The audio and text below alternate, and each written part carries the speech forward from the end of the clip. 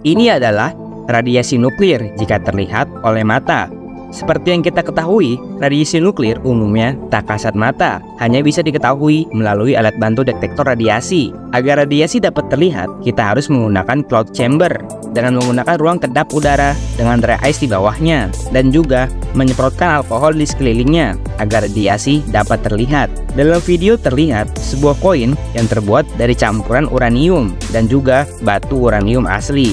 Uranium adalah senyawa kimia yang lekat akan radiasi nuklir. Radiasi terlihat seperti menembakkan sesuatu keluar dari benda tersebut.